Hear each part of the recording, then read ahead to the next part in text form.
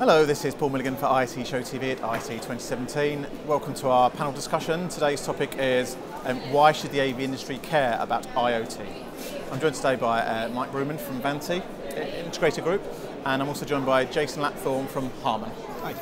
Um, gentlemen, uh, starting with you, why should the AV industry care about IoT, Mike? Um, I think the AV industry is already IoT, to be quite honest. Um, you know, we are producing black boxes and pings, we're plugging them into the network, and ultimately we can be sending that data out to the internet. So for me, I don't think this is a kind of huge leap into something brand new. I think it's we're actually already kind of forging ahead in this new kind of hyped up industry and we should just be doing more of what we're doing and tying it more into software solutions and platforms. Sure. Well, Jason, I've seen big proclamations from your CEO about the, the relationship between Harman and, and IoT. So it's obviously a, a, a, major thing for you guys. Yeah, absolutely. We've been looking to produce this, and I've, I've, got to agree with Mike as well. You know, I don't think it's it's the future. I think it's the now. It's the present, most definitely. Yeah. And almost every product that we're developing now is concerned about the Internet of Things. It is connected. It, it can talk to multiple devices. Yeah. we've got to make that as seamless as we can for the, for the end user. Sure. I know speaking to a couple of the attendees at the Smart Buildings Conference, there was some disappointment, maybe a little bit of frustration that it maybe wasn't going as fast as they wanted. It, it, do you see that, Mike? Do you feel any of that? Uh, yeah, I think so. I think the, the thing with smart building is it's um, it's fragmented. It's a complex kind of integration landscape. You've got um, lots of different products at lots of different levels, all the way from kind of physical security like access control, CCTV, all the way through to stuff that you know we're very used to around video conferencing and unified comms. Yeah. So I think actually, um, and we had our whole leadership team out here yesterday looking at kind of future smart building and how we're looking at it as part of our strategy. But I think there was a lot of talk on the hypothetical kind of what could happen and some ideas around, you know, what could possibly be and the utopian vision of smart and yeah. how some of the products that were presented feed into that. But there wasn't a lot on the how we actually go about doing it. And that's something that we're working quite hard on at the moment in terms of looking at our previous experience with the 240 Blackfriars project for UBM and working that into more of an approach to how do we actually deploy a smart building from scratch for clients. I mean, having that type of case study project that was covered in our front cover actually of our magazine, having that kind of project, does that help you enormously in terms of going to new clients and saying, this is what we're capable of, but also what the technology is capable of? Yeah, I think. Um, do you need that kind of case study? Do you need that proven well, I think the industry needs it. So yeah. with any new um, any new product or technology or way of going about stuff, you need to have the metrics that support the outcomes that you're you're trying to sell at the end of the day. And so, you know, we are starting to see some really good statistics coming out of UBM in terms of, you know, desk utilisation has reached 85% compared to 40% in their old building. So, you know, we're producing tangible results for them and they've managed to sublet floors now because they've got the data that allows them to pressurise their space further. So in terms of their 15-year payback for deploying all this technology, that's now down to about three, um, which is a you know is a great result. But it's not until we've got that sort of uh, again going back to the IoT thing, you know, being able to pull that data out of those platforms and be able to talk about it in a, a meaningful, you know, humanistic type way, and in terms of business outcomes, that's the only thing that's really going to enable the journey towards it. Going around and talking about you know the devices that plug onto things are you know important. They make up the overall solution, but um, ultimately, as with all technology, it's a tool to get stuff done. It's yeah. not a means to an end itself. Well, it's the means to an end. It's not the end itself. So yeah. it's you know, what are the outcomes we want? How do those buildings need to function, and how can IoT play a role in that? Not the other way around. Sure. I think the smart. Sorry, I think the smart building one's an interesting one because I think everyone has a different idea. Is it that the lights turn off after you leave a room? Is it to make sure all your rooms are booked uh, for each time? Is it is it saving power and data on desks on a Friday afternoon when there's not many people in? And I think it's it's everyone has a slightly different. So it's not clearly identifiable. No, I don't think so. Okay. Do you find yourself as a company being proactive about IoT and smart buildings, or or reactive because clients are coming to you? I think we're definitely. I think it's a bit of both, to be honest. We're definitely pushing that Uh, we're looking to get smarter and smarter on what we're doing in the home and the car as well is, is, is coming into the business world as well. We're looking to get smarter. We're looking to integrate into a number of different devices and control them all centrally. Yeah. Um, but also we are getting pushback from um, our end users who are using this on a daily basis that want to have a central source of data to see exactly how their building is being used um, so they can Yeah. make better informed decisions going forward. Are they using all their desk spaces? Are they using small huddle rooms or are they using large conference boardroom type scenarios? How do you make better decisions going forward if you haven't got the data to start with? Yeah. I mean, it sounds like Vanti are pretty far down this line.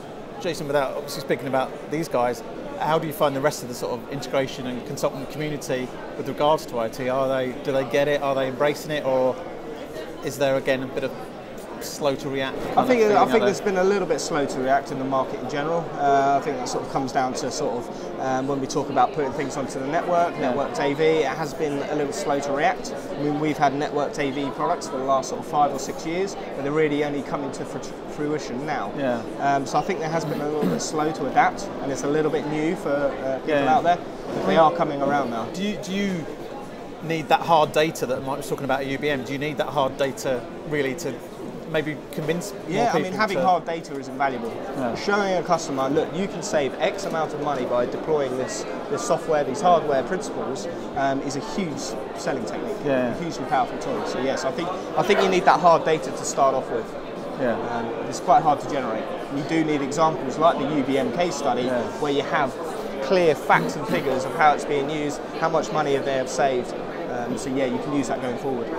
Do you think the uh, adoption differs around the world, or is there uh, kind of pockets that are quicker or slower maybe than, than others? Have you kind of noticed any kind of changes? Or No, I think, I mean, more generally, the states seem to have uh, been looking at kind of building automation, that kind of thing, for a bit longer.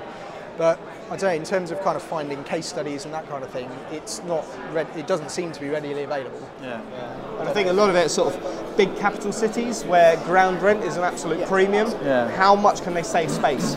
Do they need all this office space? Do they need 20 meeting rooms? Well, actually, 15 will do if they have a good booking system. Yeah. So I think we're finding that particularly in places like London, where, as I said, the rent is particularly quite high. Um, so how can they better use their facilities, their rooms, their building to ultimately cut down on that? Mean, it sounds like because you're connecting all these things together, there there is actually a lot of data, and you can prove usage, electricity, you know, all that.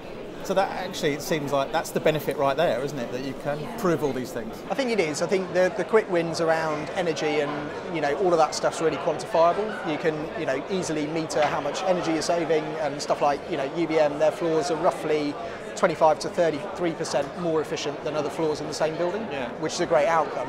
But actually, if you enable spaces for productivity first, then you're actually into more of the intangibles in terms of well, how do you measure productivity, Yeah. and also how do you measure well-being? And there's some people out there like Delos who are putting standards together around that.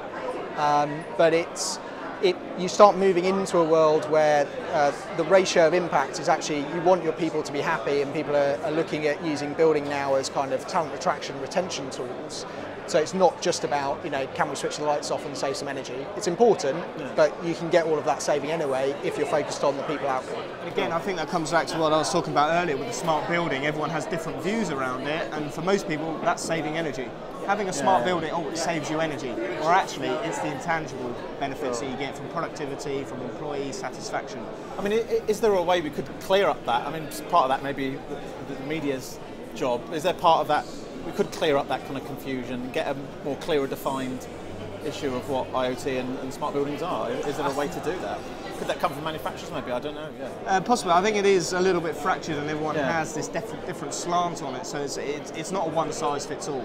Everyone has all sorts of different buildings and floor space and meeting rooms. So it is quite hard to sort of come at it as a one solution kind of thing.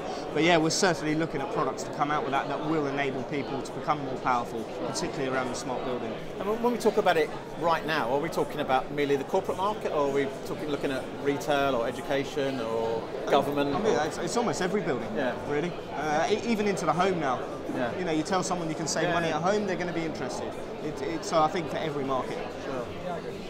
I mean, I don't know if you guys have had a chance to, to walk around the show. I mean, are you, if you have, have you seen any or lots of IoT related things or are you expecting to see many, or if not, is that an, is that an indication that maybe it isn't catching on as quick as we want? Have you, Jason, have you had a chance to? Uh, unfortunately, I, I haven't yet. Uh, hopefully, over the next uh, next week or so, you know, this week. I mean, are, you, um, are you expecting? If not, if you, are you expecting to see a lot of mentions on the stands or products? I think there's going to be a lot of mentions about it, Yeah. but probably not with any substance behind it. Okay. We sort of speak, right, how does that integrate? How do you link into other manufacturers? How do we control it? How do we make a one solution Yeah. approach for it? I think that's the difficult aspect. A lot of people are promoting this IoT and Yeah. these benefits, but the substance behind it, I think, is, is lacking at the moment. Yeah, I think it's. I mean, it's a bit like Michael Jackson Neverland, right? You kind of build this huge theme park, but actually, there's only one person who's ever there. Yeah. And so you've got all these people building all this stuff. There's a lot of product out there that's almost looking to be the solution to Yeah. something, and people aren't quite sure Yeah. what. Having just had a kind of look around the show, I'm not seeing anyone. I don't think we're quite at the kind of 4K. Uh, show where everything had a sticker on it Yeah. saying it was you know 4K ready or enabled or whatever. I don't think people are kind of picking up IoT in that way. But I think, uh, you know, I think there is now an overwhelming appreciation, and you know, Harman are, are way ahead on this as well in terms of it is bringing AV onto the IT network, and actually as part of that integration, it then leads into you know IoT. I think. The term itself is very overhyped at the moment, I think, and also, you know, you can see huge investments being made into companies that still aren't really sure, you know, what impact they're having or um, sometimes even what their product is. So I think, um, you know, I don't think we'll see the AV industry suddenly become, you know, IoT enabled. But I think, you know, we're, as Jason's already said, you know, we're already there. We already are the Internet of Things. And I think a lot of it, you know, the manufacturers need to work together alongside the system integrators as well to put all these systems in place Yeah. and to make sure every device can communicate with another. Absolutely. Well, that's a great message to end on. So, yeah. thank you, Jason. Thank you, Mark. Thank you.